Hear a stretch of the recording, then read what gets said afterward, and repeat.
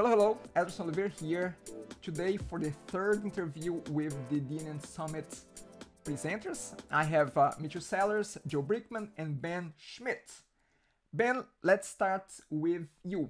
Can you introduce yourself and talk a little bit about your session? Yeah, so uh, my name is Ben. Um, I've spoken at a few conferences before, um, so you might have seen me in some past ones. Um, if you're new, I'd love to meet you and see you there.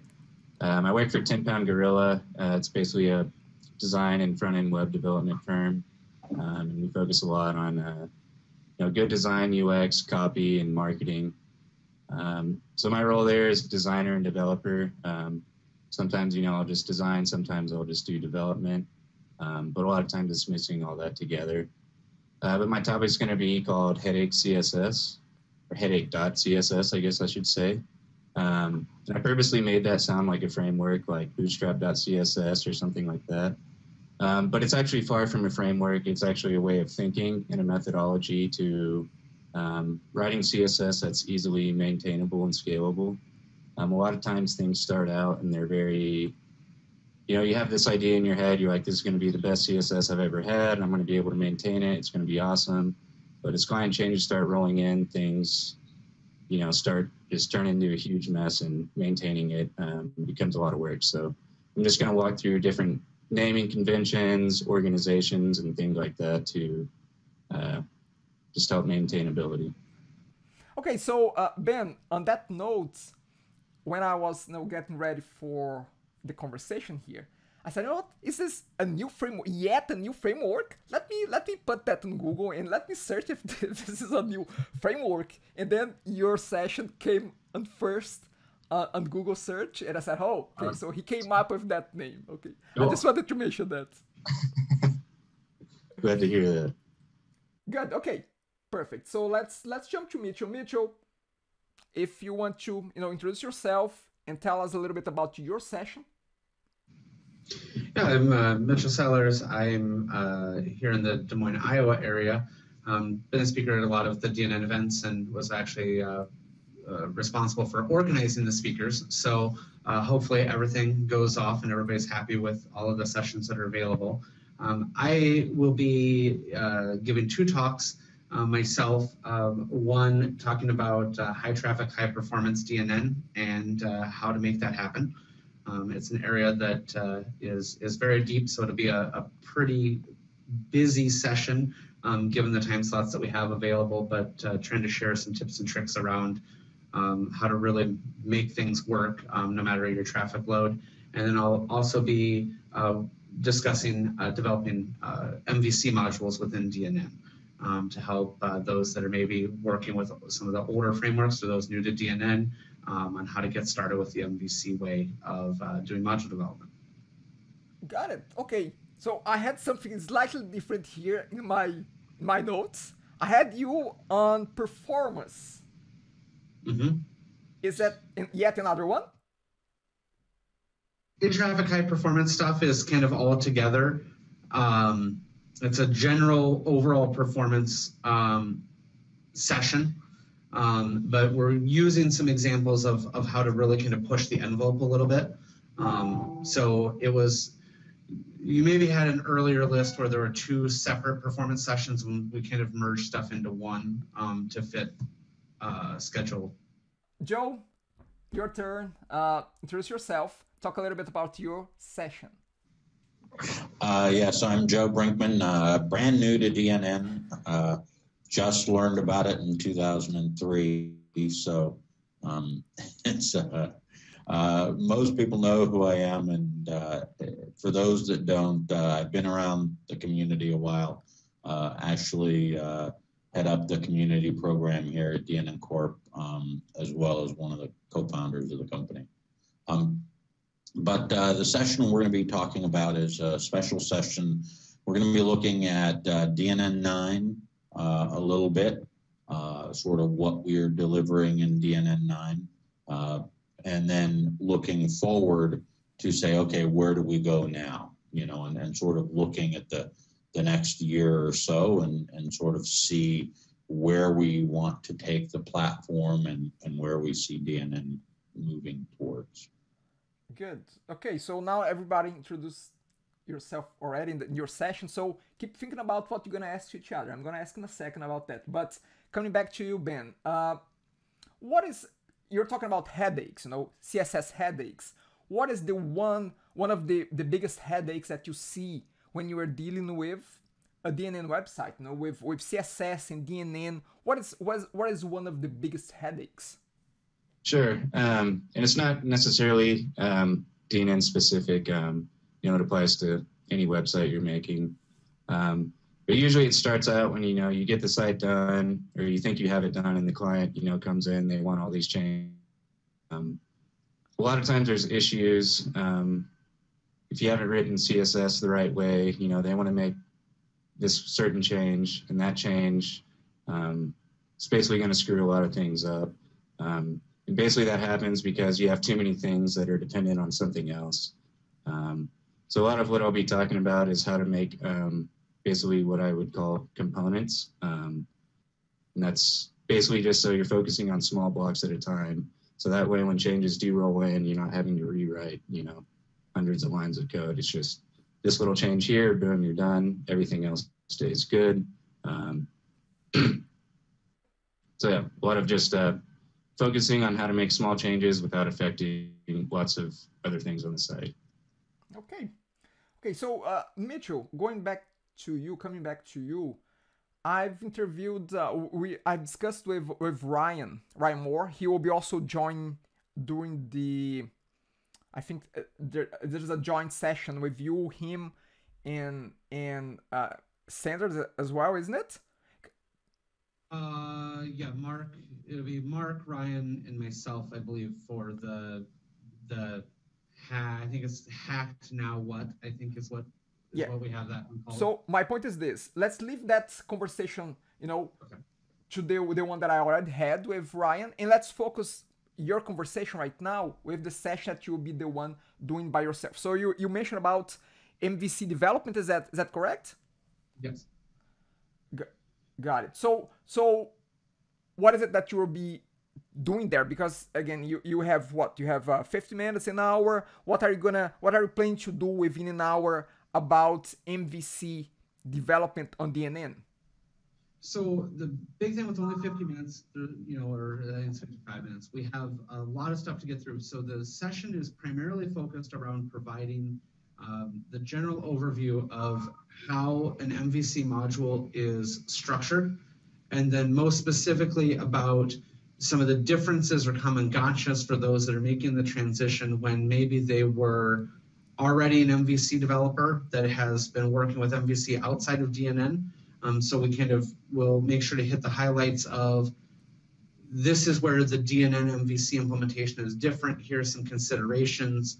Um, those types of things are going to be the primary focus um, utilizing um, you know some of the various uh, MVC templates and stuff that are available, so that when people leave the session, they'll be able to kind of hit the ground running and uh, be able to work on their own stuff.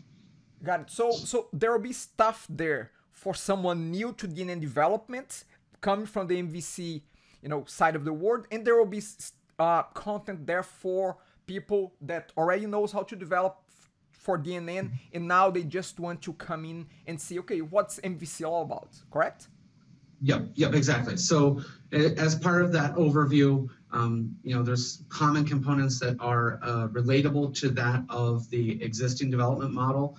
Um, so for those that have experience with the web forms model of development, um, they'll be able to see some of the correlations just given the time frame. It's not necessarily focused on the transition from web forms to MVC, um, but there'll be a lot of very easy parallels, and I'll do everything I can to call out as much as I can um, within that time slot.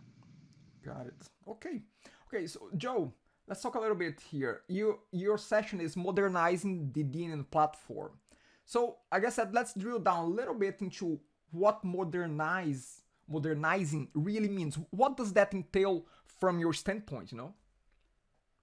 So I think one of the things that um, that often happens with technology is that people look at the way things have been done and they assume that that's the way you have to do things or that the way you have to move things forward. And I think what we're trying to do in DNN 9 and what we want to do moving forward is show people that there are that you can still use modern technologies, modern development approaches, uh, modern tooling um, for developing for DNN. You're not stuck because the platform was built on web forms 13 years ago doesn't mean that you have to use web forms to do platform development for DNN, right?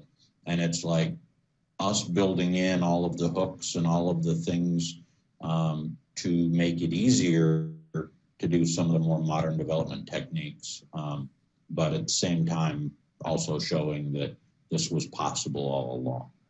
The question I have for you about DNN9 specifically is that should people expect any any you know breakage when moving from DNN7, DNN8, DNN9? I mean, this, because my feeling is that there's a big revamp on the administration, but on the modernizing the administration of DNN9. But I don't think that there is any breakage there, is there? No, not really. Um, we, have tried very hard with DNN9 uh, to be just about rebuilding the administrative tooling uh, and rebuilding the administrative experience. Uh, but uh, you know, most users should be fairly seamless, painless upgrade. You know, there are some scenarios where maybe you needed a feature uh, that's no longer supported. Um, but most of those features were ones that you probably shouldn't have been using uh, to begin with. You know, a, a, classic example, speaking of the, the CSS issues, um, you know, we had these features early on to do things like move module content left or move module content right within module settings, right? Um, and it's like, you probably shouldn't have been using those for the last 10 years. You probably should have been using CSS to do that stuff. Um, so things like that, we're removing from the, the framework. Um, you know, so is it possible someone was using that and it might break? Yeah, but realistically, it's not. It's not something where, oh my God, it's just not working. The site's not working, and I have no way to recover. Got it. Okay. So, yeah. Perfect. Okay, going back to you, Ben. Uh, who's the audience? I mean, it seems pretty obvious, but I'm gonna ask anyway. Who's the audience of your session, and why are you well positioned to to address that particular topic? You know, the the UI, the the, the front end. Tell me a little bit about that. Sure. Yeah. So it's geared. Um, I, I think I have it labeled as beginner. Um, because I'm not really going to be talking about how to write CSS. It's going to be more um, of a thought process behind it. Um, so things like uh, naming conventions, and specifically, I'm going to be talking about um, BEM-like naming conventions. Um, so I'll go into some pretty in-depth stuff on that. Um, but yeah, it's it's more for anyone that either just does CSS all day long, they dabble in it here and there, um, so it's it's meant for a broad range of people, um, whether you're just starting or you know you're an expert. Um, and then what, what was your other question? The other question was why are you well positioned to talk about that? You know. Sure. Um, so yeah, it's something I, I do on a daily basis. Um, over the years, I've I've kind of learned what does work and what doesn't work. Um, and specifically, the past year or so, I've been trying to look into um, you know what other people are doing on the web, how they're solving you know the problems of ma- maintainability and scalability. Um, so basically, I'm, I'm kind of just taking everything I've I've read and learned and kind of thought of myself and just applying it uh, to this presentation. Got it. Perfect. Okay, so I'm gonna open a little bit and see if anyone has any questions to each other. I mean, feel free. Let anyone. One. Yeah, I'll, I'll, I'll jump in. okay, okay, Joe, please. Hey, so, so Ben, uh, a lot of the challenges that the designers have long had uh, um, is how to make sure that uh, they don't end up with a lot of orphan CSS, right?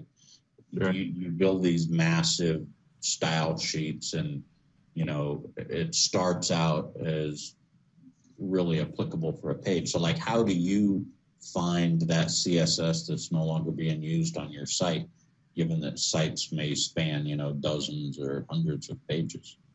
Sure. Um, so yeah, it, part of a lot of what I'll be talking about is is how to name things. Um, and it it sounds really um, contradictory when I say this, but um, you want something that's clear in what it you know what that name is, but also vague that it can be applied elsewhere. Um, so something, for example, you know, say you have a class that's called dot footer links. Um, that, that's clear in that you know it's obvious where that CSS is being applied to, um, but it doesn't allow for much reusability um, because basically, if you use that class anywhere outside of the footer, that doesn't really make sense. So a better name would be something like dot sublinks, um, and that can be applied to you know the footer or somewhere else on the site. Um, so yeah, a lot of it is is um, thinking through, really thinking about your class names and what they stand for and what they mean. Um, you know, whether it's going to make sense to use it somewhere else on the site or not. Joe, does that help? Yeah, I think it, it helps a little bit. Got it. Okay. Okay, so what I'd like to do now is focus on, on what is the one thing that each one of you would like people leaving your sessions to learn from. And you know, if there's one and only one thing that they learn, this is it. So Mitchel, let's start with you. What is the one thing that you like people to leave your session knowing about uh, DNN and MVC as well? Um, well, for the MVC session, um, Eh, really, I want them to understand how to be able to get the resources and implement what they're trying to implement with MVC, um, and what the limitations are in terms of what they can or can't do. You, you mentioned resource. What what are you referring to there? Is are you referring about documentation? I mean, what are you talking about there? Basically, it's it's uh, all about understanding the differences between MVC and DNN MVC and understanding how the framework plays together. So that that's the key understanding because then all of the other resources are are mostly applicable. You just have to know when things aren't. So all of the things that are typical hurdles for developers, such as Razor syntax, etc., those are all any documentation you find anywhere is, is going to help you. Um, the difference is there's that subset of framework features, right? Since we're running inside of DNN, um, and it's helping people understand that dividing line because I think that's the hardest hurdle as I work with training and educating developers making the jump to MVC. Um, that that's where I see the biggest struggle. Okay, uh, Joe, I don't want to put you on spot right now, but uh, you know Mitchel is talking about you know documentation and MVC. Are there things being done regards to that on the on the documentation side of DNN? You know, there's a I know that there's an initiative there going on. Can you mention talk a little bit about that? Sure. So uh, for the past year, we've been working on a documentation project, um, and we we launched last spring uh, and have continued to uh, update the documentation. So you can go to dnnsoftware.com slash docs uh, and see the documentation that, that we have available on that site. Uh, and we're really pulling documentation from a lot of different places, um, whether it's the old wiki, whether it's some old files that we had, Word documents, what have you, uh, as well as uh, having some new documentation created um, as part of the effort. I know we've We've contracted out uh, with Mitchel and with some other people uh, to write up documentation uh, as well as using our own internal resources.